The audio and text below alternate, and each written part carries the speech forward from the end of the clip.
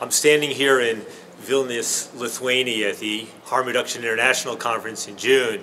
But one of the things I want to do is to invite everybody to Denver, October 23rd to 26th this year for the next biennial International Drug Policy Reform Conference.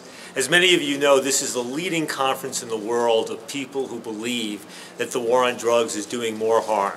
Most of the people there will be from the United States, but we'll have people from dozens of other countries as well, probably a thousand people. I, the way I like to think about this conference, it's as if we've created a hybrid of a high-level, sophisticated graduate course in drug policy and a three-day revival meeting.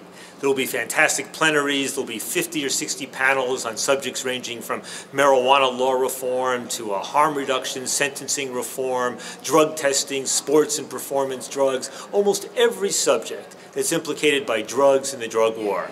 So please go to our website, reformconference.org, uh, get yourself on the email list, and find one way or another to make, you, make it there.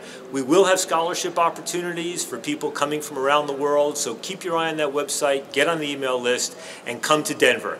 When we planned the event in Denver, we did not know that the people of Colorado would vote to legalize marijuana this past November.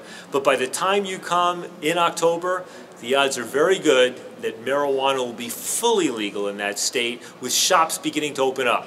That's not to say that people should come to get high, but it is to say that you'll be coming to the political jurisdiction that is leading the world when it comes to sensible marijuana policies and coming to the United States where we need you from all around the world to help educate Americans as well about what works well outside the country. I hope to see you there.